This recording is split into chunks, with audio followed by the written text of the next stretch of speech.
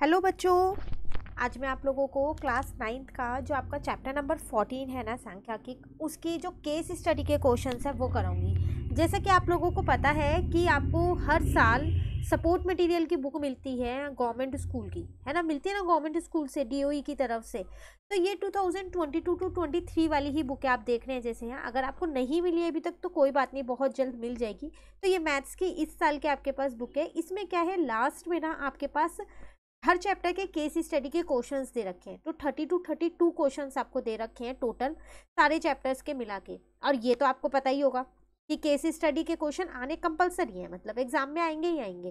तो ये thirty two question को तो आप अच्छे से प्रिपेयर करके जाना ही जाना। साथ के साथ आपको और क्वेश्चन भी अगर मिल जाते हैं और मैं भी पूरी कोशिश करूँगी कि आपको और क्वेश्चन की भी वीडियो दे सकूँ तो वो क्वेश्चन भी आप ज़रूर कर लीजिएगा, ठीक है? तो आज हम चैप्टर फोर्टीन की करने वाले हैं। दो क्वेश्चन है हमारे पास, इसमें बिल्कुल लास्ट के दो हैं thirty one and thirty two करें स्टार्ट देखो, आपसे यहाँ थर्टी वन क्वेश्चन में क्या कह रहे हैं? छात्रों के एक समूह ने सांख्यिकी का एक प्रोजेक्ट बनाने का निर्णय लिया। उन्होंने कक्षा नौवीं ए बी और सी के कुल इक्यावन लड़कियों की लंबाई इकट्ठी इकट्ठी की ओर इस आंकड़े को निम्नलिखित बारंबारता सारणी के रूप में लिखा। देखो, यहाँ पर कुछ बच्चों ने क्या किया? लड़कियों की लंबाई लिखी हुई है नाइन्थ क्लास की लड़कियाँ हैं।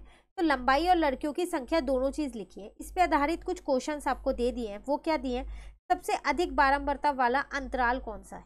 सबसे अधिक बारंबारता तो इसकी है ना? तो इसका अंतराल कौन सा है? 145 टू 150 ठीक है? नेक्स्ट में आपसे क्या कह रहा है यहाँ पर? 155 सेंटीमीटर से कम ऊंचाई वाली लड़कियों की संख्या। 155 से कम। तो 155 तो इसमें गिना जाएगा ना? तो इसके ऊपर वाली लेनी है ना? पर लड़कियों की संख्या लेनी है तो ये लेंगे। इसका मतलब मैं कह सकती हूँ four plus seven plus eighteen plus eleven है ना? तो इन सबको प्लस करोगे तो कितना आ जाएगा? फोर्टी आ जाएगा। क्लियर उसके बाद कह रहा है वन फिफ्टी या उससे अधिक लंबाई वाली लड़कियों की संख्या। 150 या उससे ज़्यादा। तो 150 इसमें आएगा। और इससे ज़्यादा ये नीचे वाले हैं तीन। तो ये तीन ले लेते हैं फिर। ठीक है ना? 11 प्लस सिक्स प्लस फाइव तो टोटल हो जाएगा 22 इसके साथ चॉइस में एक और क्वेश्चन दे दिया, अगर ये नहीं आता है तो। कह रहे, कितनी लड़कियाँ हैं जिनकी लंबाई 140 सेंटीमीटर से अधिक और 160 से कम है? मतलब 140 से ज़्यादा और 160 से कम ना तो 160 यहाँ से शुरू है तो ये तो लेंगे ही नहीं। तो ये वाला लेंगे, ये वाला ये वाला और ये वाला, क्योंकि इसमें 140 से 145 तक है। तो वो कह रहे थे 140 से ज़्यादा वाला लेना है, इसलिए। तो फिर ये कह सकती हूँ कि इसमें हमने लिया seven plus eighteen plus eleven plus six तो जब टोटल करोगे तो कितना आ जाएगा? फोर्टी टू आ जाएगा। क्लियर है? ये थी छोटी सी केस स्टडी देखो, सिर्फ़ समझने वाली बात है कि कौन सा वर्ग अंतराल वाले लेने और कौन से नहीं लेने तो सिर्फ़ एक बार अच्छे से रिवाइज भी कर लोगे ना तो एग्ज़ाम में ऐसे ही अगर कोई केस स्टडी आती है तो कर पाओगे। ठीक है ना? चलो, एक और देखते हैं जल्दी से।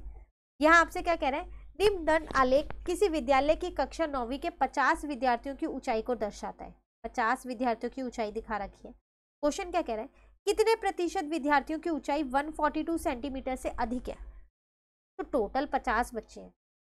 जिसमें 142 वाले कितने हैं? यहाँ पर पाँच ही बच्चे हैं। तो बाकी सब तो इससे ज़्यादा वाले हैं ना? तो इसका मतलब टोटल फोर्टी फाइव बच्चे हैं। लेकिन मुझे प्रतिशत के रूप में दिखाना है। तो फोर्टी फाइव अपॉन में आता है टोटल। टोटल फिफ्टी स्टूडेंट्स है। इंटू में आ जाएगा हंड्रेड। ज़ीरो से ज़ीरो कट गया, ये इससे कट गया नाइन। आंसर आ गया नाइन्टी परसेंट। क्लियर? नेक्स्ट में आपसे क्या कह रहे हैं? अधिकतम ऊंचाई वाले कितने विद्यार्थी हैं? जिनकी सबसे ज़्यादा ऊंचाई है। तो बीस बच्चे ऐसे हैं, क्योंकि इसमें सबसे ज़्यादा है ना? है ना? तो ट्वेंटी क्लियर नेक्स्ट में आपसे क्या कह रहा है? अभी और हैं इसके क्वेश्चंस आपसे कह रहा है कितने विद्यार्थियों की ऊंचाई 142 सेंटीमीटर और 145 सेंटीमीटर के बीच है? इनके बीच में कितने बच्चे हैं? देख लो, इनके बीच में कितने बच्चे मुझे तो एक टेन दिख रहे हैं और एक ट्वेंटी टोटल थर्टी बच्चे दिख रहे हैं इनके बीच में। है ना? तो इसका आंसर आ जाएगा थर्टी अब इसी के साथ चॉइस में एक और क्वेश्चन दे दिया। कह रहा है, इन आंकड़ों का परिसर कितना है? परिसर मतलब क्या होता है? परिसर का मतलब होता है, जो अधिकतम मान है ना, उसमें से न्यूनतम मान को घटा दे रहा हूँ। तो अधिकतम मेरे पास है 145 और न्यूनतम मेरे पास है 142 घटा दो। तो यहाँ आ जाएगा 145 माइनस का 142 आंसर आ जाएगा मेरे पास थ्री ये है मेरा परिसर।